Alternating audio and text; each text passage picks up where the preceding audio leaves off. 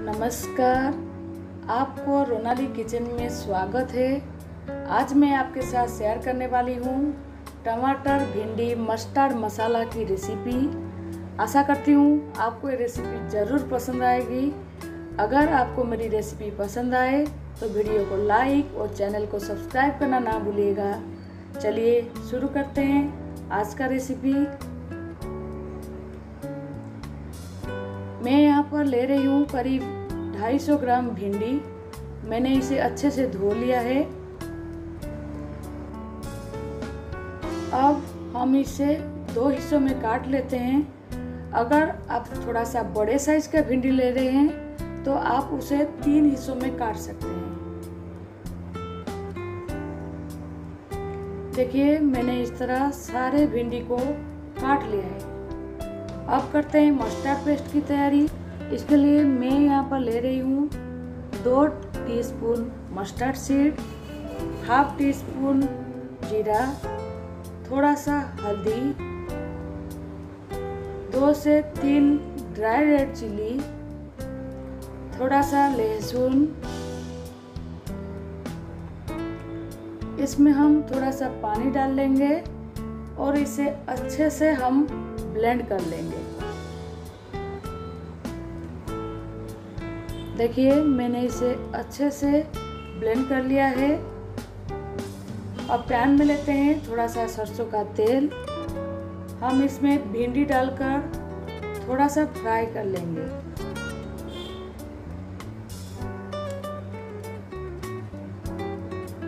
हमें भिंडी को ज़्यादा फ्राई नहीं करना है। हमें इसे हल्का सा फ्राई कर लेना है। तीन से चार मिनट के लिए मीडियम फ्लेम पर।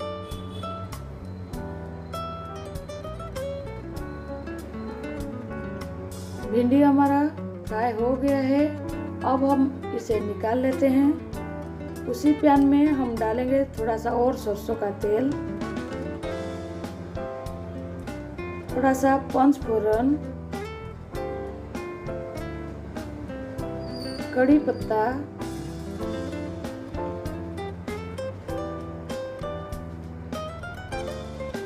कटी हुई टमाटर।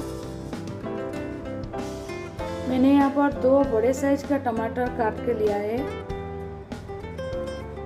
इसे हमें थोड़ा सा सॉफ्ट होने तक फ्राई कर लेना है।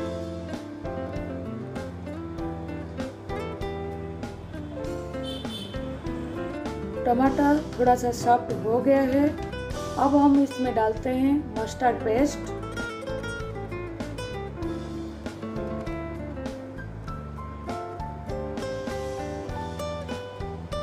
इसे हमें लो फ्लेम पर तीन से चार मिनट के लिए फ्राई करना है।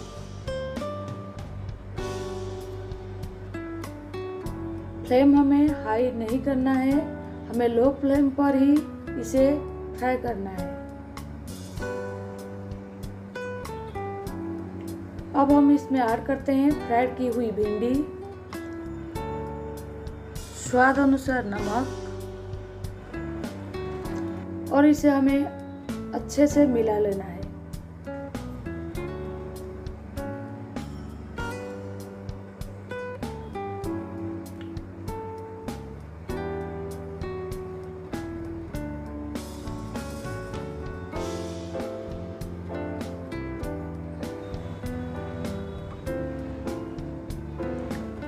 अब हम इसमें डालते हैं थोड़ा सा पानी। पानी हमें ज़्यादा नहीं डालना है। क्योंकि भिंडी को हमें ज़्यादा नहीं पकाना है।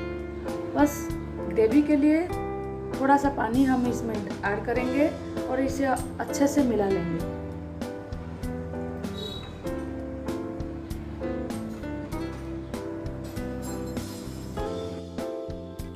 अब हम इसे दो से तीन मिनट के लिए कुक कर लेंगे।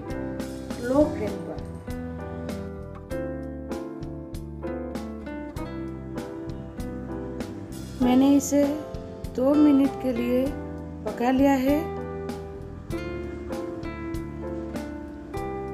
अब करते हैं फ्लेम को ऑफ़। देखिए, रेडी हो गया हमारा टमाटर, भिंडी, मस्टर्ड मसाला। इसे आप राइस के साथ सर्व कर सकते हैं। राइस के साथ खाने में ये ज़्यादा अच्छा लगता है। इसे आप घर पर एक बार ज़रूर ट्राई करिएगा। ये दिखने में जितना सुंदर है, खाने में उतना ही टेस्टी आप इसे घर पर ज़रूर एक बार ट्राई करिएगा। अगर आपको मेरी ये रेसिपी अच्छी लगी तो वीडियो को लाइक और चैनल को सब्सक्राइब करना ना भूलिएगा। Thank you